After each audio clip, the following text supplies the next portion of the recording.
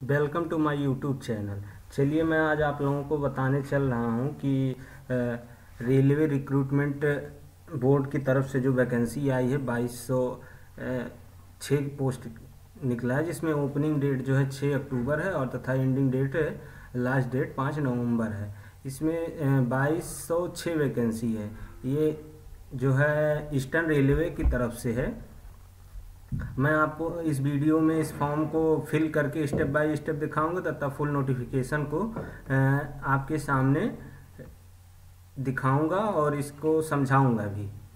चलिए मैं इस वीडियो में आप लोगों को ये भी बता देता हूँ कि इसमें जो है क्या कराया जाता है, क्या नहीं कराया जाता है। आप चलिए सिलेक्शन मोड पे आ जाते हैं। इसमें क्या होता है? इसमें सिलेक्शन का जो मोड होता है, वो हाई स्कूल में फिफ्टी परसेंट मांगा जाता है, जो मिनिमम होता है। मिनिमम अर्थात कि आप पचास परसेंट से ज़्यादा अगर आपका है तो आप अप्लाई कर सकते हैं। जिसमें ये जो है पचास परसेंट हाई स्कूल होना चाहिए, बाकी पचास परसेंट आईटीआई का मार्क्स जो है इक्वली जुड़ता है। इसमें आप लोगों का ट्रेड देख लीजिए, जो डिवीज़न वाइज धन धनपुर है और अलग अदर्स डिवीज़न के हैं, सबकी वैकेंसी दी गई है। इसको आप लोग नीचे डिस्क्रिप्शन में मैं डाल दूँगा। आप पढ़ लीजिएगा इसके, जो फुल नोटिफिकेशन को। यहाँ पे एलिजिबिलिटी के बारे में बताया गया है, जो इसमें एलिजिबिलिटी कंडीशन कंडी कंडीशंस के बारे में बताया गया जैसे कि क्या कंडीशन हो सकती है? पंद्रह से चौबीस साल हर जगह अप्रेंटिसशिप में यही दिया जाता है। ये वो टाइम होता है जिसमें अप्रेंटिसशिप वालों को आप ट्रेनिंग दिया जाता है। एक साल की ट्रेनिंग कर सकते हैं। इसमें जो होता है ओबीसी वालों के लिए भी कुछ एज का रिलैक्सेशन होता है। एस सी वालों को मिलता है पीडब्ल्यूडी वालों को मिलता है बाकी ईडब्ल्यूएस वालों को नहीं दिया जाता है और जनरल वालों को नहीं दिया जाता है और एक सर्विस मैन को भी तीन साल का दिया जाता है।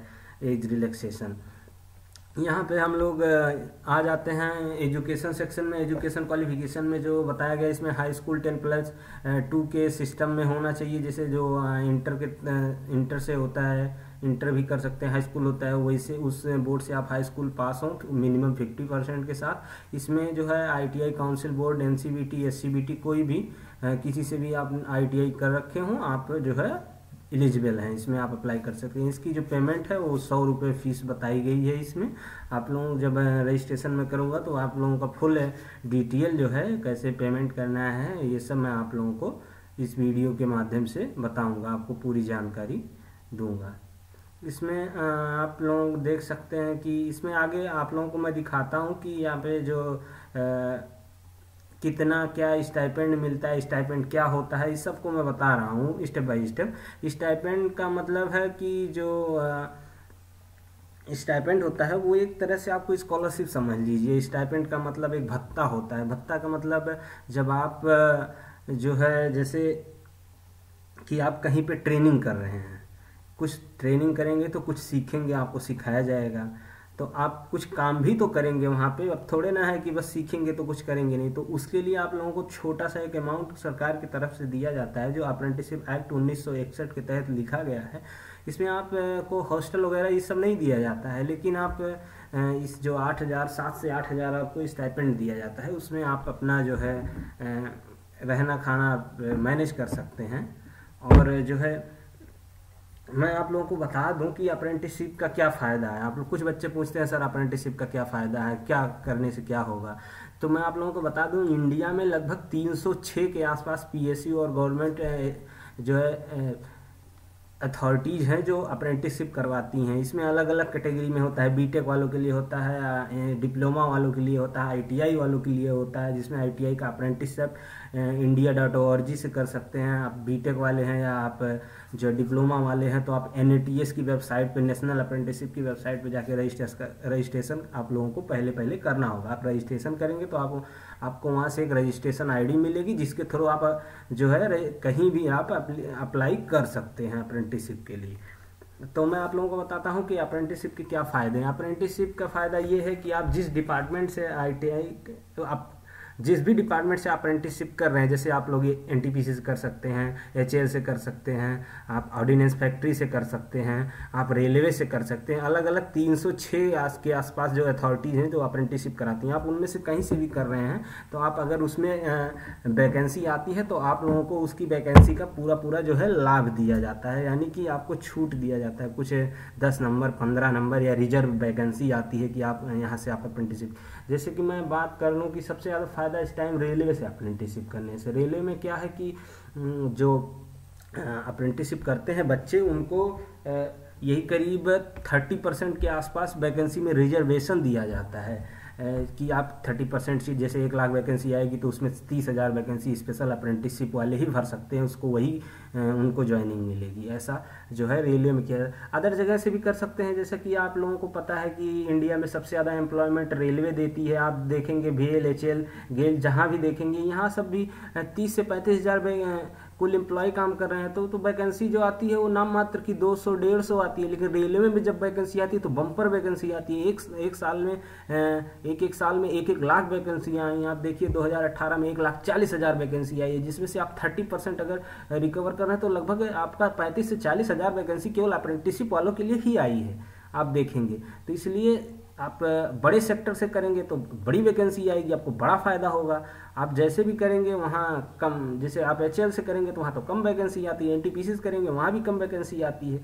तो आप लोगों को उतना, जबकि अब की बार तो अब तो रेलवे में दूसरा सिस्टम भी लागू हो गया। पहले क्या है कि ये रेलवे में क्या होता था कि जब पहले की बात है, जब आप रेलवे में हुआ करता था कि आप अप्रेंटिसिप जो है करेंगे तो आपको अप्रेंटिसशिप का सर्टिफिकेट दे दिया जाएगा, आप लेके चले जाएँगे। लेकिन अब 2014 में जैसे पहले हुआ करता था कि रेलवे में एक जीएम स्तर पर ही अप्रेंटिसशिप होता था। जीएम मतलब जनरल मैनेजर यानी कि कहीं भी आरआरबी मान लीजिए आप आरआरबी गोरखपुर आरआरबी इलाहाबाद चले गए तो आप लोगों को वहाँ पर जो भी अप्रेंटिसशिप के लिए वैकेंसी खाली है, उसमें बच्चों को क्या किया जाता था? जनरल मैनेजर इंटरव्यू वगैरह लेके आपको वहाँ पे अप्रेंटिसशिप का लिए रजिस्टर कर लेते थे। आप अप्रेंटिसशिप वास करिए। और फिर अगर वहाँ पे एम्प्लॉय की ज़रूरत है तो उन्हीं बच्चों का एक एग्ज़ाम लिया जाता था और उनको गवर्नमेंट नौकरी में रख लिया जाता था परमानेंट नौकरी में रख लिया जाता था। लेकिन 2014 में नई गवर्नमेंट आई, इन्होंने चेंज कर दिया रूल अपना जो है सॉरी तो चेंज कर दिया रूल लेकिन इसके बाद फिर क्या हुआ कि जब आप आपका, क्या कहते हैं इसमें 2021 में दूसरा नियम फिर से आ गया। इसमें क्या हुआ कि फिर वही नियम लागू कर दिया गया कि अगर आप अप्रेंटिसशिप कर रहे हैं जीएम स्तर पे होगा अप्रेंटिसशिप लेकिन इसमें फिर रिक्रूटमेंट सेल के ही थ्रू होगा। पहले रिक्रूटमेंट सेल की तरफ़ से नहीं होता था जीएम स्तर पर, लेकिन फिर अब जीएम स्तर भी है और रिक्रूटमेंट सेल भी है, दोनों हैं। तो इसमें क्या है कि अब बड़े फ़ायदे हैं, यहाँ पर अप्रेंटिसशिप करेंगे, आपको नौकरी मिल जाएगी, वो फ्री नौकरी रेलवे में, बताइए। वहाँ पे कंपटीशन भी ज़्यादा नहीं होता है, एक आरआरबी में ज़्यादा से ज़्यादा हज़ार बच्चे अप्रेंटिसशिप कर रहे हैं तो हज़ार बच्चों में आपका सौ, डेढ़ सौ वैकेंसी जो भी है तो आप लोगों को ऐसे फिल फिल फिल कर लेंगे वो लोग। इसमें काफ़ी फ़ायदा होता है। चलिए मैं आप लोगों को फॉर्म फिल करने के लिए बताता हूँ, आप जो है कैसे फॉर्म फिल करेंगे, आप लोगों को इसके बारे में बताता हूँ। ये इंटरफेस खुल गया है। आप लोगों को मैं इसका एप्लीकेशन का डिस्क्रिप्शन लिंक में दे दूँगा, आप वहाँ से अप्लाई कर लेंगे। आप लोग इसे खोलेंगे तो फिर, यहाँ पे आएगा स्टेट चूज़ करने के लिए, फिर आ जाएगा आधार कार्ड चूज़ करने के लिए, फिर मतलब मार्क्स जो आइडेंटिफाई मार्क्स हैं, जैसे मोलान चीक है मोलान हेड है, कहीं पे आपका कट वगैरह हो तो आप इसमें फिल कर देंगे। नहीं है तो नो मार्क्स लिख देंगे। और डिवीज़न कौन सा है डिवीज़न तो आप लोगों को ईस्टर्न रेलवे तो फिर मैं एमपी आपको स्टेट तो चूज़ करना है। फिर डिवीज़न, धनबाद धनपुर, आप कहीं भी चूज़ कर सकते हैं। मैं आपको बता दूँ कि इसमें जेंडर चूज़ करेंगे, इसमें जो है कम्युनिटी चूज़ करेंगे, फिर इसमें क्या है कि जो आप लोगों का एक सर्विस मैन हो, वो चूज़ कर लेंगे उनके लिए। फिर इसमें आप डेट ऑफ़ बर्थ डाल देंगे, इसके बाद ईमेल आईडी, फ़ोन नंबर डाल देंगे। इसमें आपका यहाँ ट्रेड आ जाएगा। जब आप क्लिक करेंगे तो ट्रेड आ जाएगा, जब फिल करेंगे, फिर आप यहाँ सेंसिटिव केस डाल देंगे। फिर इसके बाद जो है मैंने इसको फिल कर लिया है। मैं फिल करके आप लोगों को इसमें रजिस्टर पे नीचे क्लिक कर देंगे। रजिस्टर पे क्लिक करेंगे तो ऊपर से एक पॉपअप आएगा। पॉपअप पे आप ओके कर देंगे। अगर आप लोगों का सब कुछ सही रहा तो फिर आप लोगों इसमें जो है रजिस्टर हो जाएँगे। अब देखिए, ये आ जाएगा खुल के। फिर आप यहाँ से क्लिक लॉग लॉगिन कर लेंगे। जब आप इस पर क्लिक लॉग लॉगिन करेंगे तो ऐसा आप लोगों के सामने इंटरफेस आ जाएगा। इस इंटरफेस में आपका ओल्ड पासवर्ड मांगेगा जो आप लोगों की ईमेल आईडी पे गया होगा रजिस्ट्रेशन और पासवर्ड फिर आप एक नया पासवर्ड इसमें इंटर कर देंगे और फिर जो है अपडेट कर देंगे इसको। फिर अब सॉरी इसमें थोड़ा सर्वर का इशू बता रहा है। मैं फिर से ट्राई करता हूँ। वेट करिए आप लोग एक सेकेंड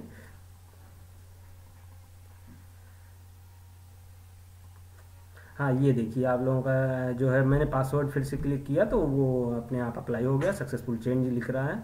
और फिर यहाँ से आप क्लिक हियर कर क्लिक हियर करके लॉगिन कर लेंगे और फिर जो है, यहाँ से आपका एक जो मैं, जो आपको ईमेल आईडी पे ये मिला होगा रजिस्ट्रेशन नंबर इसको आप फिल करेंगे और फिर जो है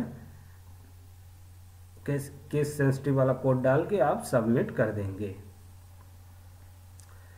सबमिट कर देंगे तो आप लोगों का ऐसे कुछ इंटरफेस आएगा तो आप चाहे सेव कर लीजिए या फिर नेबर कर दीजिए, जो भी आपकी इच्छा है। फिर यहाँ से आप फिल करेंगे सीबीएसई किस बोर्ड से आप हैं बोर्ड चूज़ कर लेंगे। फिर आप यहाँ से किस अथॉरिटी से एग्ज़ाम दिए हैं यूपी बोर्ड है या कौन सा बोर्ड है या फिर जो भी है आप लोग वहाँ जो है चूज़ कर लेंगे। अपना सॉरी लिख देंगे इसको, इसके बाद आप किस कॉलेज से किए हैं, इसको फिल कर देंगे। आप लोग जो है और फिर यहाँ आ जाएँगे नीचे आपका वर्ष कौन सा है, फिर आप लोग जो है, वर्ष को वर्ष को सेलेक्ट कर लेंगे, आपका जब हाई स्कूल पास हुए होंगे आप। फिर आप लोग यहाँ पे अपना जो है मार्कशीट नंबर डाल लेंगे C G P A total जो मार्क्स होता है आपका, जितना आपका जो, जितना आपने ऑब्डेंट किया, पाया हुआ, उसको फिल कर देंगे टोटल मार्क्स यहाँ फिल कर देंगे, फिर आपका परसेंटेज खुद ब खुद वहाँ जो है ले लेगा, वो रिफ्रेश हो जाएगी साइड तो थोड़ा नीचे हो जा रहा है, इस वजह से। यहाँ आपका ट्रेड और धनबाद जो मैंने चूज़ किया डिवीज़न वो आ गया है, फिर आप यहाँ से आईटीआई पासिंग ईयर देख लेंगे। 2021 का फिर इसमें जो है आप लोग का नेशनल अप्रेंटिसशिप ट्रेड जो मतलब एन सी बी टी के द्वारा जो आप लोगों का कोड मिला है, आप कोड भी फिल कर देंगे। फिर आप यहाँ से चूज़ कर लेंगे। फिर जो है यहाँ पे आप इंस्टीट्यूट नेम अपना लिख देंगे, जो भी आपका इंस्टीट्यूट नेम है। और फिर जो है मैंने आप लोगों को ये डमी डेटा देख के फिल करके दिखा दिया है, जिसमें आप लोग यहाँ से आप फिर कितने मार्क्स आपको मिले हैं वो फिल कर देंगे, फिर आप नेक्स्ट सेशन में इंटर करके और जो है टोटल मार्क्स को लिख देंगे और फिर जो पूर्णांक रहा है उसको आप लिख देंगे। फिर आपका यहाँ कैलकुलेट होके आ जाएगा आपका कितना परसेंट बना है, कौन सा ग्रेड है। फिर आप यहाँ से नीचे से नेक्स्ट कर देंगे और फिर आप लोगों को आप लोगों का जो लोड हो जाएगा पेज लो, पेज लोड होके आ जाएगा। यहाँ पे आप अपना जो है एड्रेस फिल कर देंगे क्रॉस क्रॉसबंडिंग एड्रेस आप कुछ भी सेंड कर सकते हैं जहाँ रह रहे हैं उसका आप दोनों का सेंड लिख सकते हैं एक स्लैश लगा के जहाँ पे आप करंट लोकेशन है आप घर के यहाँ से आप फ़ोटो चूज़ करेंगे और अपलोड कर देंगे। अपलोड क्लिक कर दीजिएगा तभी जाके आप लोगों का ये सेक्शन जो है अपलोड होगा। फिर जो है मैंने जो है यहाँ से अपलोड कर लिया है और फिर जो है नेक्स्ट पे क्लिक करेंगे तो आपका एक जो है दूसरा इंटरफेस खुल के आ जाएगा। यहाँ से आप लोग मार्कशीट जो है अपना चूज़ कर लेंगे। सारी चीज़ें, सारी जो डॉक्यूमेंट्स हैं वो आप चूज़ कर लेंगे अपना सेलेक्ट कर करके और फिर अपलोड कर लेंगे सारे डॉक्यूमेंट्स को। फिर जो है सेव टू प्रोसेस कर लेंगे। फिर जो है आप नेक्स्ट नेक्स्ट पेज पे जो है आप लोग पहुँच जाएँगे। यहाँ से आप अपना कास्ट सर्टिफिकेट जो ई डब्ल्यू एस वाले हैं, वो अपना ई डब्ल्यू एस वाले ओ बी सी वाले O B C S C S T वाले, अपना अपना सब अलग अलग डॉक्यूमेंट जो है अपलोड कर लेंगे इसको। फिर आप अपलोड करके सेव टू प्रोसेस कर देंगे, फिर नेक्स्ट स्टेप आ जाएगा पेमेंट का। आप पेमेंट कर सकते हैं। पेमेंट करने के बाद आप जो है पेमेंट करने के बाद आपका जो है अगर आप लोगों को यह वीडियो पसंद आए तो आप प्लीज़ मेरे इस वीडियो को लाइक करें तथा मेरे चैनल को सब्सक्राइब करें। ऐसे ही ऑथेंटिक न्यूज़ के लिए आप मेरा चैनल जो है बार बार विज़िट करते रहें। चलिए धन्यवाद।